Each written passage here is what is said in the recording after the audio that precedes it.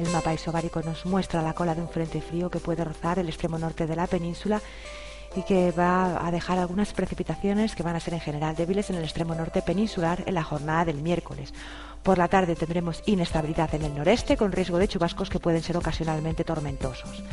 Temperaturas eh, máximas que tienden a descender de forma ligera en el norte y que van a seguir siendo muy elevadas en el centro sur y también en el área del Mediterráneo.